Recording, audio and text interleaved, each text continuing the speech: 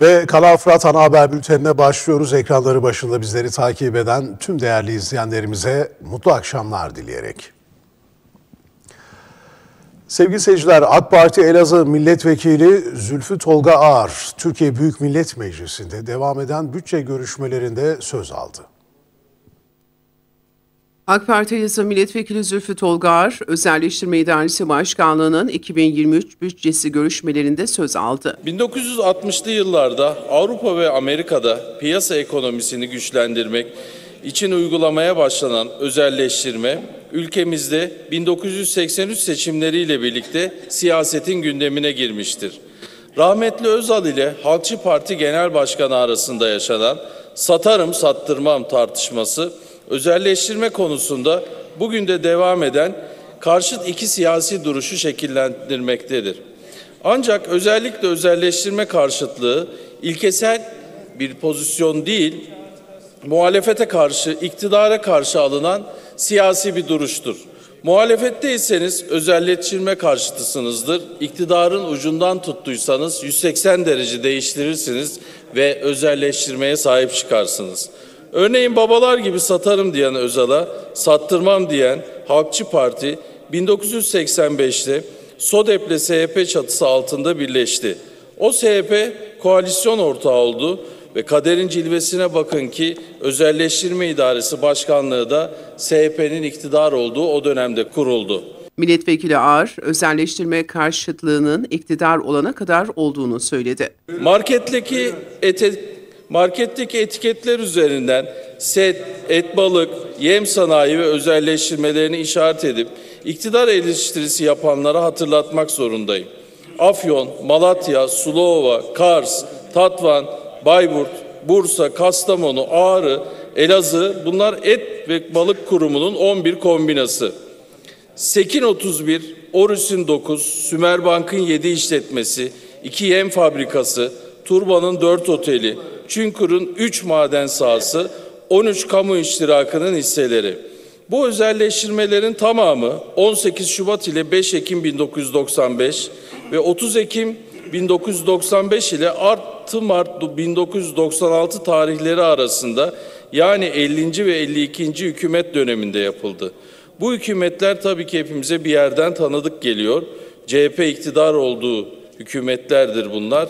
Neymiş yani? Özelleştirme karşıtlığı iktidar olana kadarmış. Milletvekili Ağar, AK Parti'nin özelleştirmeye ilkesel yaklaştığını kaydederek muhalefetin eleştirilerine değindi. Özelleştirmeye pozisyonel bakmayan, ilkesel yaklaşan tek parti AK Parti'dir. AK Parti 2002 seçim beyannamesinin serbest piyasanın daha iyi işlemesi, etkinlik ve verimliliği arttırmayı amaçlayan bir özelleştirme programını muhalefetteyken taahhüt etmiş, iktidara gelince de uygulamıştır. AK Parti olarak biz piyasaya yönelik bir ürünü ya da hizmeti devletin mi özel sektörün mü gerçekleştirildiğinden daha önemli olanın hizmetin veya üretimin devamı olduğuna inanıyoruz. Güçlü bir ekonomi için verimliliğin, kalitenin ve piyasa rekabetinin sağlanması gerekir diyen bir parti olarak özelleştirme uygulamamızı da bu yaklaşım üzerine inşa ettik. İlkesel bir duruş ve kararlı bir uygulama özelleştirilen kitlerin ülkemiz ekonomisine katkısını, ürettikleri hizmet ve ürettikleri ürünlerin kalitesini ve rekabetçi yapıyı da güçlendirmiştir. Mesela 2002 yılından sonra özelleştirilen 13 limana 1.8 milyar dolarlık bir yatırım yapılmıştır.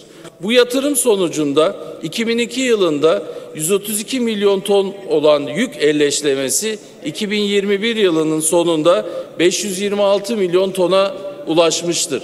Bunun anlamı da liman taşımacılığımızın ve deniz ticaretimizin dört kat artması anlamına gelmektedir. Bu örneği şunun için verdim.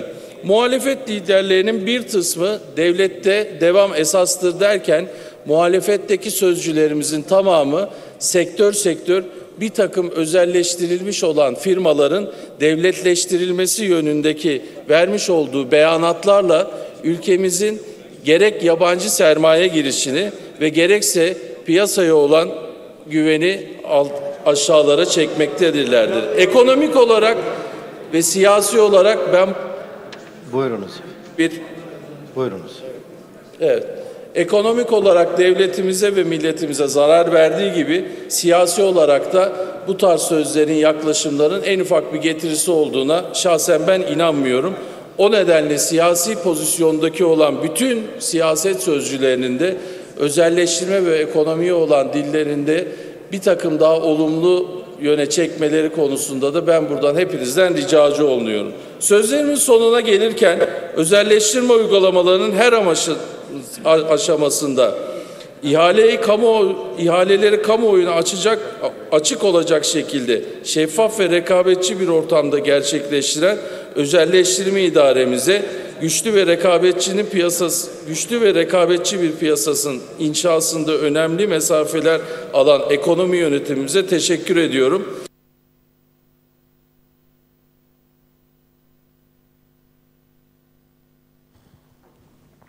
...2023'e doğru 40 yıl hatır bırakmaya geldik diyen AK Parti İl Teşkilatı Karşıyaka Mahallesi'nde vatandaşlarla bir araya geldi. AK Parti Kadın Kolları İl Teşkilatı tarafından 2023'e doğru 40 yıl hatır bırakmaya geldik programı hayata geçirildi. AK Parti İl Başkanı Şerafettin Yıldırım Kadın Kolları İl Başkanlığı tarafından başlatılan programa katıldı. Program kapsamında Karşıyaka Mahallesi'ni ziyaret eden İl Başkanı Şerafettin Yıldırım, Kadın Kolları İl Başkanı Burcu Tüver ve Yönetim Kurulu üyeleri vatandaşlardan gelen sorun ve talepleri dinledi. Ziyaretiyle ilgili değerlendirmelerde bulunan İl Başkanı Yıldırım, samimiyetle edilen kelamlar şüphesiz güler yüzle karşılık bulacaktır. Hep birlikte güzeliz, dedi. Mahallenin insanları lazım. Yani sizler bize lazımsınız. Çünkü siz esas bu toprağın özüsünüz. Yani bu AK Parti hikayesi, AK Parti yürüyüşü, AK Parti davası sizlerle başladı. Nasıl başladı? Cumhurbaşkanımız ki o zaman genel başkanımızdı şöyle bir cümleyle yola çıkmıştı. Ben kimsesizlerin kimsesi olarak yola çıkıyorum demişti ve bir şey daha ekledi. Hiçbir şey eskisi gibi olmayacak dedi. Ve 20 yıldır bu ülkeye hizmet etmeye çalışıyoruz. Hamdolsun. Gerek Cumhurbaşkanımız gerekse onun kadroları ülkeye çok önemli hizmetler yaptı. Yapmaya da devam edecek. Ama ben bugün karşımda gerçekten çok naif, çok özel bir topluluk görüyorum. Benim üzerime bir borç düşürdünüz. Ben sizi bir dahaki sefere başka bir yerde ağırlamak üzere ben sizi davet edeceğim.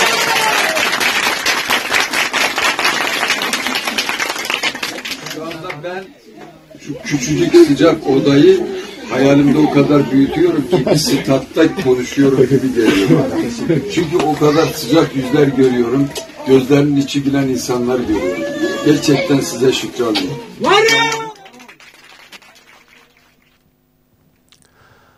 Elazığ Ticaret ve Sanayi Odası Başkanı İdris Alan'ın hastanede yapılan tetkikleri neticesinde sanal anjiyografi sonucu 5 damarının tıkalı olduğu tespit edildi. Rahatsızlığı nedeniyle açıklama yapan Başkan Alan 12 Aralık pazartesi günü ameliyat olacağını duyurdu. Elazığ Ticaret ve Sanayi Odası Başkanı İdris Alan'ın hastanede yapılan tetkikler neticesinde sanal anjiyografi sonucu 5 damarının tıkalı olduğu tespit edildi. Rahatsızlığı nedeniyle açıklama yapan Başkan Alan 12 Aralık pazartesi günü ameliyat olacağını duyurdu. Alan açıklamasında şu ifadelere yer verdi. Seçim süreci boyunca yaşadığım şiddetli göğüs ve kalp ağrısı nedeniyle tedavi amaçlı gittiğim hastanede yapılan tetkikler neticesinde sanal anjiyografi sonucu 5 damarın %90 ile %100 arası tıkalı olduğu tespit edilmişti. Hekimlerimizin ivedilikle anjiyo ve bypass olma gerekliliğine rağmen yapılacak seçimlere bir ay gibi kısa sürenin kalması münasebetiyle böyle bir atmosferde başlayacak tedavi sürecimin ekip arkadaşlarımızın motivasyonunu olumsuz yönde etkileyeceği düşüncesiyle tehir kararı almıştık. Netice itibariyle üyelerimizin büyük teveccühü, dostlarımızın duası ve alnımızın akıyla seçim sürecimizi tamamladık. Başta odamızın çok kıymetli üyeleri olmak üzere paydaşlarımızın ve değerli hemşehrilerimizin tebriklerini almamızın akabinde geçtiğimiz hafta içerisinde Türkiye Odalar ve Borsalar Birliği'ni de ziyaret ederek Genel Başkanımız Rifat Hisarcıklıoğlu ile görüşmelerimizi yaptık. Ankara'da gerçekleştirilecek olan Elazığ Tanıtım Günleri etkinliği için uzattığım Ankara programımızda oluşan boşluktan istifade edip zamanı verimli değerlendirme adına Tedavi amaçlı hekimlerimizle bir araya gelerek gerekli testlere girdim.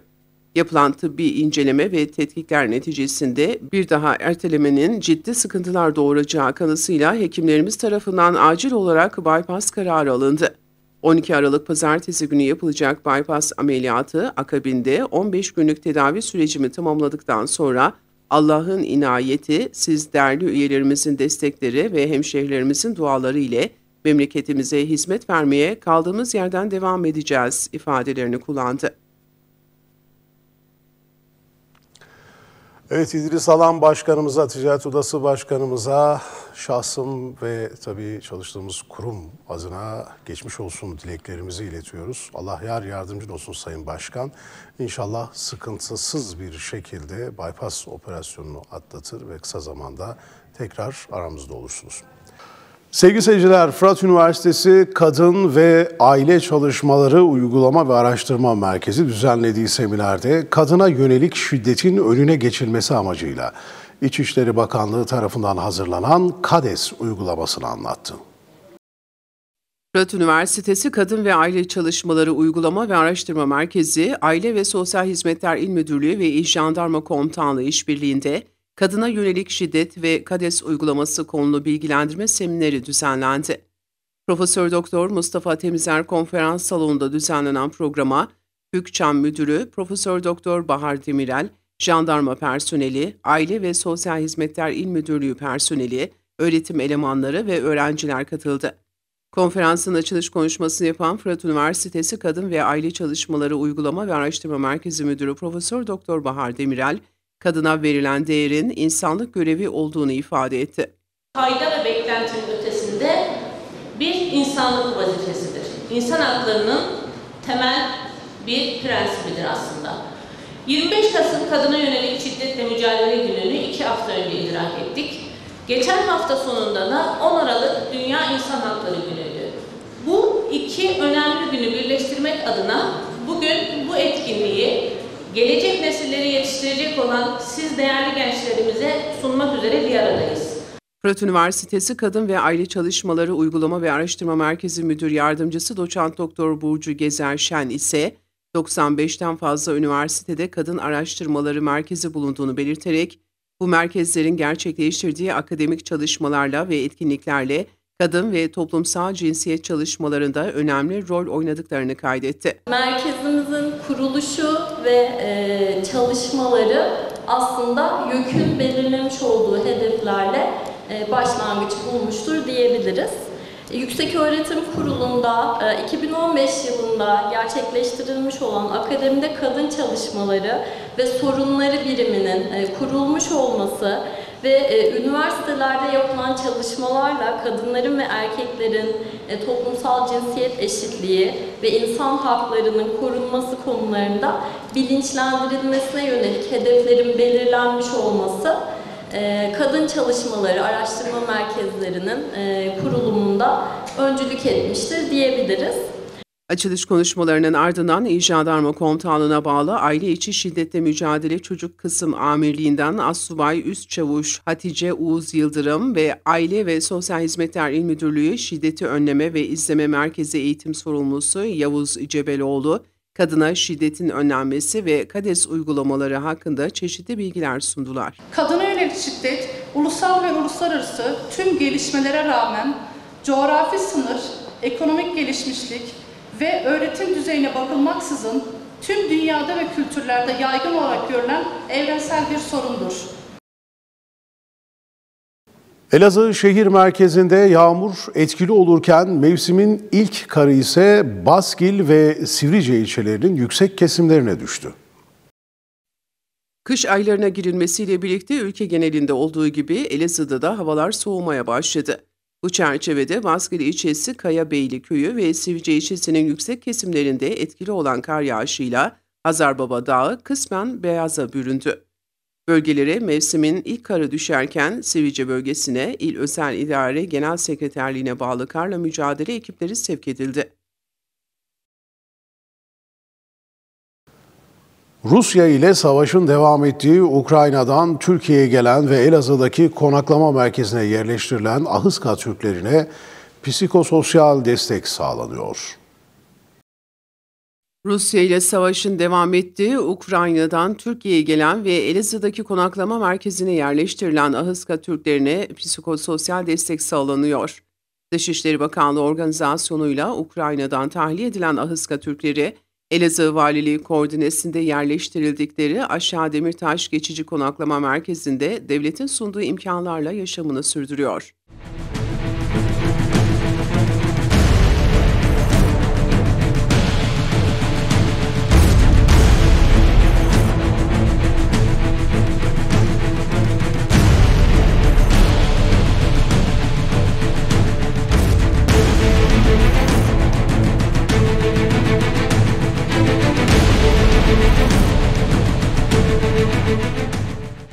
Ahıska Türklerine sunulan imkanlardan biri de Elazığ Valiliği koordinesinde yürütülen psikososyal destek hizmeti.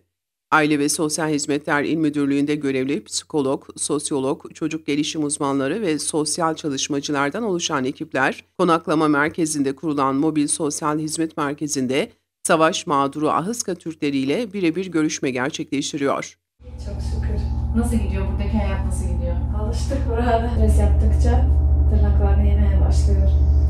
Ee, peki bu uyum sürecinde arkadaşlarıyla iletişimde biliyorsunuz kızınızla oyun terapisi uyguladı Evet. ona. Ee, nasıl farklılıklar?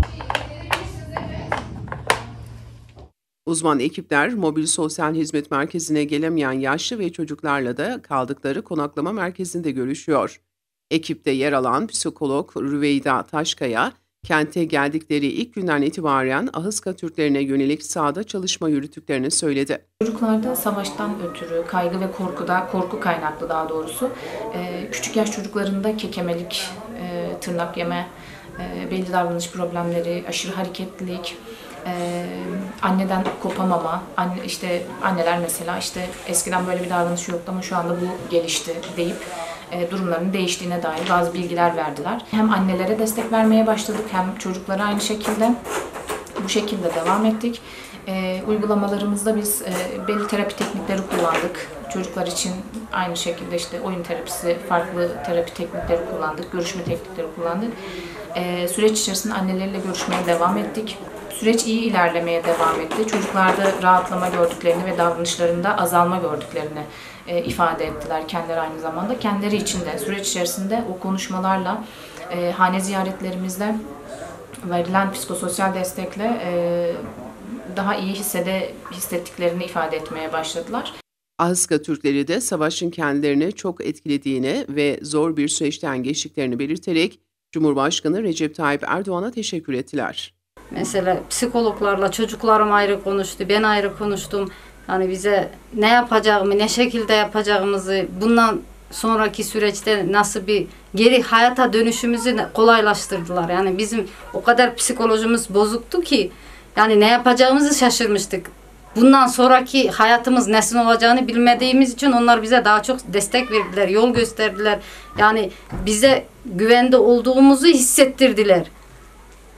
Çok sağ olsunlar. Onların yardımıyla yani daha bir mantıklı düşünceye başladık, düşünmeye başladık. Psikolojim bozuldu. E, Her zaman onları onu uçakları görmekten, bombaları duymaktan psikolojim bozuldu ve Türkiye'ye geldik. Destek aldık ve şimdi say- kendimi iyi hissediyorum. Mutluyum ki buraya geldim. Bizim bu vatanımız e, Türkiye halkı Erdoğan'a sağ olsun bizleri şey ettik, bizlere yardım etti, getirdiler buralara e, yer verdiler, konteyner verdiler. Çocuklara onlar çok korkuyordu. Bombalara atışanda çok korkuyordular.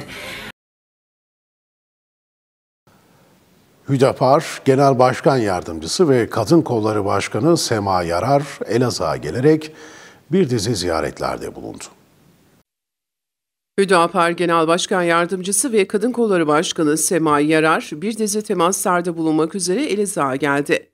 Yarar, Elazığ Kadın Kolları Teşkilatı, ilçe teşkilatları, gençlik kolları ve üyeler ile toplantılar düzenleyerek partisinin seçim çalışmaları hakkında bilgilendirmede bulundu.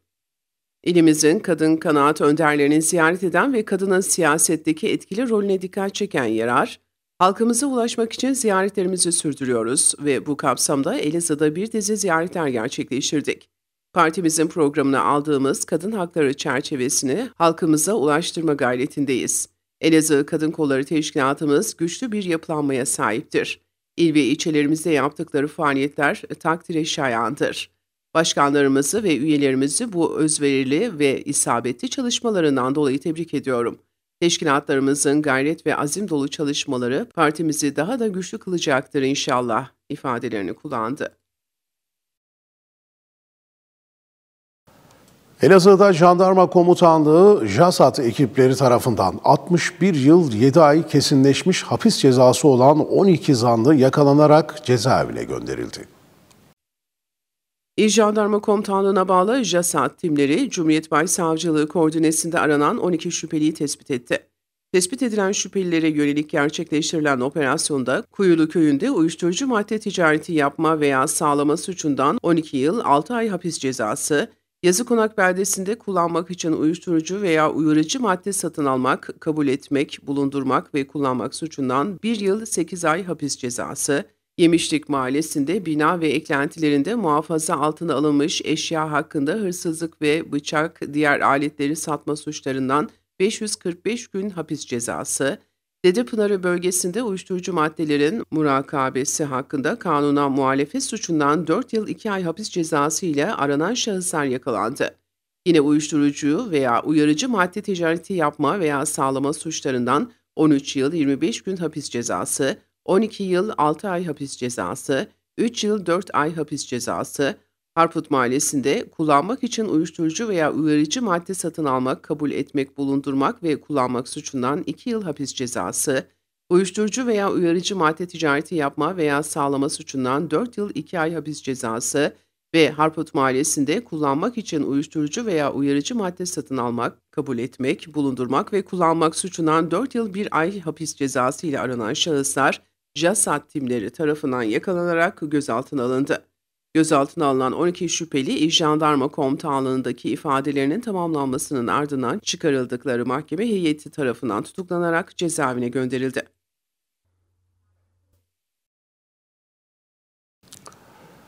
Düğünlerin en fazla yapıldığı yaz ayları kuyumcuların da en hareketli dönemleri. Bu dönemi buruk geçiren kuyumcular umutlarını başka bir bahara sakladılar. Altındaki yükseliş yatırımcının yüzünü güldürdü ama kuyumcunun yüzünü güldürmedi. İnsanlarımızın e, bu da direkt ekonomiyle ilgili e, ekonomik durumun kötü olması ve satın alma gücünün e, eksiye gitmesi yani yüzde 200-300'leri zamlar ve belli kalemlerde yüzde 500'lere varan zamların olması ki şahısların, müşterilerimizin satın alma gücünü düşürüyor. Bunu nereden hissettiğiniz zaman bu sene yapılan düğünlere baktığımız zaman bu düğünlerde genellikle eskiden bir çeyrek yarım götüren insanlar şimdi yarım gram hatta çeyrek gram veya bir gram gibi satışlarımız bu sene oldu. Yaz aylarında artan düğünlerle birlikte yoğunluğun artacağı umudunu besleyen kuyumcuların umutları suya düştü. 4-5 sene öncesi düğünlere göre durgun geçti yani çünkü alım gücü yok. Evet. Oturuyoruz yani. Ee, insanlar şey yapıyorlar şöyle yani gelirine göre hareket etmediği için sıkıntılar. Esnafa Bolluğa alıştılar ilkin değil mi? Ben mesela 92'de başladım ticarete.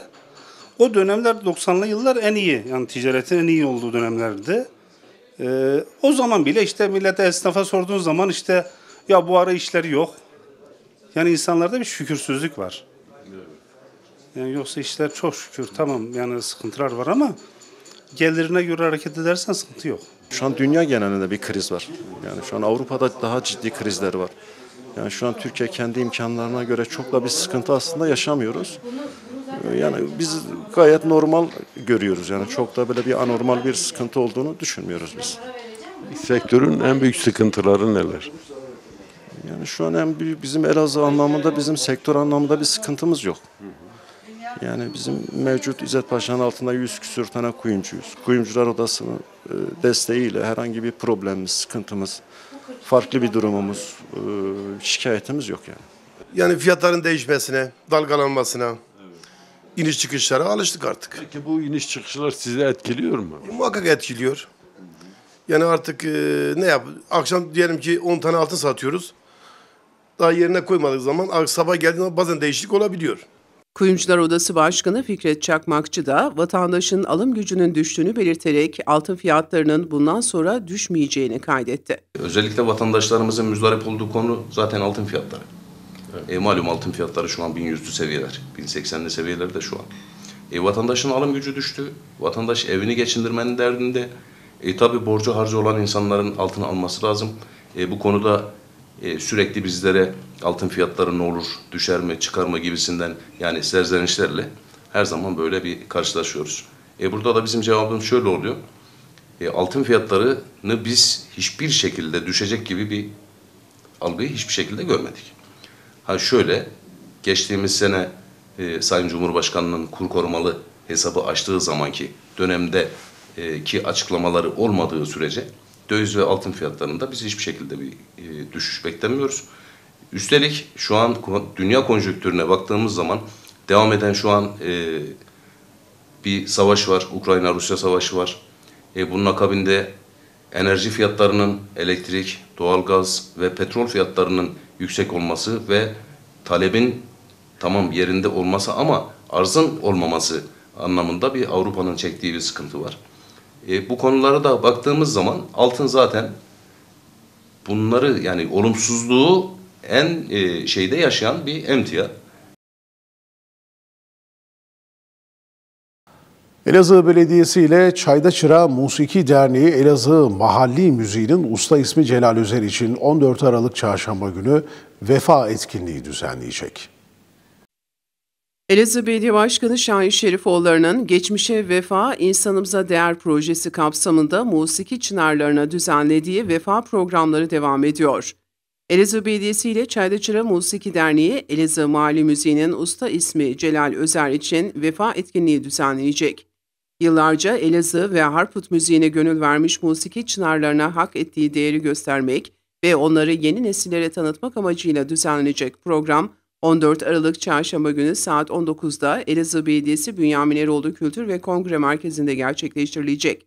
Elazığ Belediyesi Basın Yayın ve Halkla İlişkiler Müdürlüğü'nün vefa programı ile ilgili yapılan açıklamada, Elazığ ve Harput müziğine gönül vermiş musiki çınarlarımızı yeni nesillere tanıtmak amacıyla vefa programları düzenlemeye devam ediyoruz. Bu kapsamda 14 Aralık Çarşamba günü saat 19'da Elazığ Belediyesi Bünyamin Eroğlu Kültür ve Kongre Merkezi'nde düzenleyeceğimiz programda Celal Özel'i daha yakından tanıtacak panel ve sinevizyon gösterimi yer alacak. Programda ayrıca Özel'in gönüllerde yer edilmiş eserleri seslendirilecek. Üstadımızın aile fertleri ve sevenlerinin de katılacağı programa tüm hemşehrilerimiz davetlidir denildi. Eski Cumhuriyet Halk Partisi İl Başkanı İş İnsanı Ethem Gülbay'ın oğlu İş İnsanı Cem Burak Gülbay geçirdiği rahatsızlık sonucu hayatını kaybetti. Merhum Gülbay salı günü Zafranlı Camii'de kılınacak cenaze namazının ardından son yolculuğuna uğurlanacak. Eski CHP Elazığ İl Başkanı ve iş insanı Ethem Gülbay'ın oğlu 46 yaşındaki Cem Burak Gülbay kalp krizi nedeniyle hastaneye kaldırıldı. Aort damarında çatlama olduğu tespit edilen Gülbay, yapılan ilk müdahalenin ardından Diyarbakır'a sevk edildi. 46 yaşındaki Gülbay Diyarbakır'a giderken yolda hayatını kaybetti. Merhum Cem Burak Gülbay için 13 Aralık Salı günü Zafran Camisi'nde öğlen namazına müteakip cenaze namazı kılınacak. Gülbay ailesi taziyeleri Polatlar Camii Taziye Evi'nde kabul edecek. Medya grubumuz olarak merhum Cem Burak Gülbay'a Allah'tan rahmet, başta ailesi olmak üzere yakınlarına başsağlığı ve sabır diliyoruz. Elazığ Devlet Klasik Türk Müziği Korosu ve Kürsübaşı Topluluğu tarafından Mevlana'yı anma haftası nedeniyle 16 Aralık Cuma günü konser düzenlenecek. Elazığ Devlet Klasik Türk Müziği Korosu ve Kürsübaşı topluluğunun periyodik konserlerinde bu hafta Mevlana Celaleddin Rumi anılacak. Konser 16 Aralık Cuma günü saat 20'de Nurettin Ardıçoğlu Kültür Merkezi'nde gerçekleştirilecek.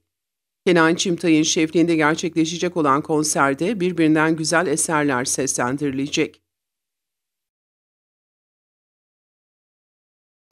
Edremit Körfezi Elazığlılar Kültür ve Dayanışma Derneği'nin öncülüğünde Burhaniye'de Harput'tan El Azize konferansı düzenlendi. Edremit Körfezi, Elazığlılar Kültür ve Dayanışma Derneği'nin ev sahipliğinde Burhaniye'de Harput'tan Elaziz'e konferansı düzenlendi. Edremit Körfezi, Elazığlılar Kültür ve Dayanışma Derneği'nin öncülüğünde yapılan konferansa, Fırat Üniversitesi Tarih Bölümü öğretim üyelerinden Profesör Doktor İbrahim Yılmaz Çelik konuşmacı olarak katıldı. Reha Yurdakul Kültür Merkezi'nde düzenlenen konferansın açılışında bir konuşma yapan Edremit Körfezi Elazığlılar Kültür ve Dayanışma Derneği Başkanı Ömer Taşdelen, Profesör Doktor İbrahim Yılmaz Çelik ile Balıkesir Müftüsü Celal Sürgeç ve katılımcılara teşekkür etti. Balıkesir Müftüsü Celal Sürgeç de Elazığlılar her yerde itibar görmektedir. Dışarıda olduğumuzda daha çok birbirimizi arayıp soruyoruz. Kültürümüz çok güzel. Önce kalplerimiz bir araya gelmeli. Elazığlılar olarak bir WhatsApp grubu kurulmasını öneriyorum. Biz Diyanet Vakfı olarak 70 öğrenciye burs veriyoruz. Buradaki hemşehrilerim de öğrencilere yardımcı olabilirler. Kalıplarımız da, kalplerimiz de bir araya gelsin dedi. Fırat Üniversitesi'nde okuduğunu anlatan Profesör Doktor İbrahim Yılmaz Çelik, Harput'un adının nereden geldiğini anlatırken Harput ve kültürüyle ilgili bilgiler aktardı. Elazığ'da üniversite öğrencileri tarafından düzenlenen etkinlikte kadına yönelik şiddete dikkat çekildi. Fırat Üniversitesi Sağlık Bilimleri Fakültesi Ebelik Bölümü ve Ebelik Öğrenci Topluluğu tarafından etkinlik hazırlandı. Fırat Üniversitesi Hastanesi Poliklinik binası girişinde gerçekleştirilen Kadına Yönelik Şiddetle Mücadele Günü etkinliğinde şiddetle mücadele anlatıldı. Etkinlik hakkında bilgi veren öğretim üyesi Ayşenur Yılmaz, kadınlara yönelik şiddet dünyada ve ülkemizde gün geçtikçe artıyor. Biz de farkındalık oluşturmak amacıyla bir etkinlik yaptık dedi. Kadınlar biliyorsunuz ki e, dünyada ve ülkemizde kadına yönelik şiddet gün geçtikçe artmaktadır. Kadın cinayetlerinin sayısı çok fazladır. E, bu süreçte biz de bir, bir farkındalık oluşturmak amacıyla Ebelik Öğrenci Topluluğumuz ve Ebelik Bölümü olarak beraber bir etkinlik yapmak istemekteyiz. E, temennimiz kadınların sağlıklı, sevgi ve mutlu huzurlu bir dünyada yaşamalarıdır ve hiçbir zaman hiçbir şiddetle karşılaşmamalıdır. Haberleri izlediniz. Az sonra günün gelişen spor haberleriyle tekrar karşınızda olacağız. Ayrılmayın lütfen. Günün gelişen spor haberleriyle tekrar karşınızdayız. Adalet Bakanlığı öncülüğünde personelin sesi, adaletin nefesi temalı 100. yıl adalet personeli etkinlikleri kapsamında futbol turnuvası düzenlendi. Elazığ Cumhuriyet Başsavcısı Ömer Karışit, bakanlık yetkililerinin de Elazığ'a gelecek olmalarıyla birlikte etkinliklerin 17 Aralık Cumartesi gününe kadar devam edeceğini söyledi. Adalet Bakanlığı 100. yıl etkinlikleri kapsamında personelin sesi, adaletin nefesi temalı çeşitli etkinlikler düzenledi. Bu etkinliklerden biri de Adalet Bakanlığı personelleri arasında düzenlenen futbol turnuvası oldu. Bahçeli Evler Ahmet Yılmaz Sentetik Sahada start alan futbol turnuvasının açılış programına Elazığ Cumhuriyet Başsavcısı Ömer Karaşiyet ve Adalet Bakanlığı personelleri katıldılar.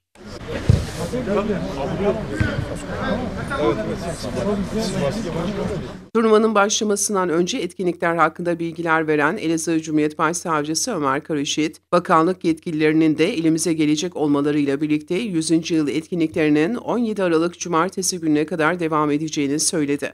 Adalet Bakanlığımızın öncülüğünde personelin sesi adaletin nefesi temasıyla 100. yıl adalet personeli etkinlikleri kapsamında biz de Elazığ'da adalet personelimiz için yani yoğun iş temposu altında gece gündüz vefakar ve cefakar bir şekilde çalışan adalet personelimiz için bir kısım etkinlik planladık. Bu futbol turnuvamız da bu etkinliklerden bir tanesi bir tanesini oluşturuyor. Bu futbol turnuvası için hem adalet adliyede çalışan hem de cezaevinde ve denetim müdürlüğünde çalışan personellerimizden oluşan karma takımlar oluşturduk. Bu e, takımların kuralları çekildi, eşleştirmeler yapıldı. E, inşallah 2-3 gün bu eleme maçları yapılacak. E, Cuma günü e, saat 14'te de final maçı e, bu kapsamda olacak. İnşallah Adalet Bakanlığımızın yetkililerin de teşrif edecekleri e, final maçı ve ardından kupa törenimiz olacak. Bu futbol turnuvamız dışında birkaç etkinliğimiz yine olacak adalet personelimiz için. Adalet personeli derken de hem adliyede çalışan adalet personelleri hem de ceza infaz kurumlarımız ve denetim serbestlik müdürlüklerimizde çalışan personellerimize biz e, hepsine birden adalet personeli e, diyoruz. E, Cuma günü e, futbol turnuvası final maçı ve kupa dışında e, Adalet Sarayımızda e, resim, fotoğraf, filografiden oluşan biz e, resim bir sergi planlamaktayız. Bu sergide sergilenecek eserler bizzat bizim adalet personelimizin kendi eserleri olacaklar. El emekleri, göz nurları. Kendi eserlerini sergileyeceğiz inşallah. Aynı akşam Cuma günü saat 19'da e, Fırat Üniversitesi e, Atatürk Kültür Merkezi'nde e, bir konserimiz olacak. E, TRT Ankara ve İstanbul e, saz ve söz sanatçılarının sanatçılarının yer alacağı e, güzel bir konser inşallah e, gerçekleştirmeyi planlıyoruz. E, 17 Aralık e, Cumartesi günü de bütün adalet personelimiz, bakanlık yetkililerimizin, hakim savcılarımızın da katılımıyla e, Elazığ Harput'ta bir e, gezi düşünmekteyiz. Burada bakanlık yetkilileri, personelimiz buluşacak ve bir kaynaşma ortamı olmasını amaçlıyoruz. Turnuvanın startı öncesinde Cumhuriyet Başsavcısı Ömer Karayişit, Adalet Bakanlığı personelleri ve sporcular turnuva öncesinde toplu resim çektirerek birbirlerine başarılar dilediler. Evet, başarılar tekrar. Size de başarılar. Hocam. Şey, e, Başsavcım. Evet. Hayırlı uğurlu olsun. Futbol turnuvası Elazığ Cumhuriyet Başsavcısı Ömer Karayişit'in vuruşuyla başladı. Pazar günü oynanan ve 2-2'lik beraberlikle sonuçlanan Elazığ Spor Eskişehir Spor karşılaşmasını 1550 biletli seyirci izledi. Elazığ Spor Kulübü pazar günü oynanan Elazığ Spor Eskişehir Spor karşılaşmasının biletli seyirci sayısını açıkladı. Kulüpten yapılan açıklamaya göre pazar günü Doğu Kent Hıdır Bilek Stadyumunda saat 14'te oynanan ve 2-2 beraberlikle sonuçlanan Elazığ Spor Eskişehir Spor karşılaşmasını 35'li deplasman takımı taraftarı olmak üzere toplam 1550 bilette seyirci izledi. Müsabakada ayrıca 132 resmi, 37 de özel güvenlik elemanı görev yaptı.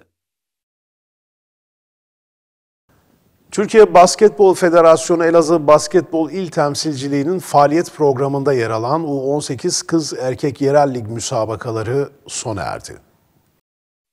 24 Kasım'da Yakup Kılıç Spor Salonu'nda başlayan ve Türkiye Basketbol Federasyonu Elazığ Basketbol İl Temsilciliği'nin 2022-2023 yılı faaliyet programında yer alan U18 Kız Erkek Yerel Lig müsabakaları 7 Aralık tarihi itibariyle sona erdi. Sona eren müsabakalar sonucunda kategorilerinde dereceye giren takımlar şöyle. U18 Kız Basketbol takımları 1. Elazığ Belediyesi Akademi Kulübü, 2. Elazığ Gençlik ve Spor Kulübü A takımı, 3. Elazığ Basketbol Spor Kulübü. U18 basketbol takımları 1. Gençlik Merkezi Spor Kulübü, 2. Gençlik ve Spor Kulübü, 3. Elazığ Basketbol Spor Kulübü. Gençlik ve Spor İl Müdürlüğü yaptığı açıklamada, Basketbol İl Temsilciliğimizin faaliyet programında yer alan yerel lig müsabakaları kapsamında U18 müsabakası tamamlandı. Müsabakada ter döken sporcularımıza teşekkür ediyoruz. Devam eden müsabakalardaki tüm takımlarımıza başarılar diliyoruz. Bilindiği üzere Elazığ sporda marka şehir haline getirmek adına gerek yatırımlarla gerekse müsabakalarla Spor Şehri Elazığ sloganıyla faaliyetlerimizi yapmaya ve sporcu kardeşlerimizin yanında olmaya devam ediyoruz. Basketbolda güzel bir oluşumumuz var ve bu oluşumun meyvelerini ilerleyen yıllarda alacağımıza inanıyorum. Bu vesileyle bir kez daha müsabakalara katılan tüm takımlarımıza ve teknik ekibe başarılar diliyorum dedi. Spor haberlerini burada noktalıyoruz. Herkese mutlu bir akşam diliyorum. Görüşünceye dek şimdilik hoşçakalın.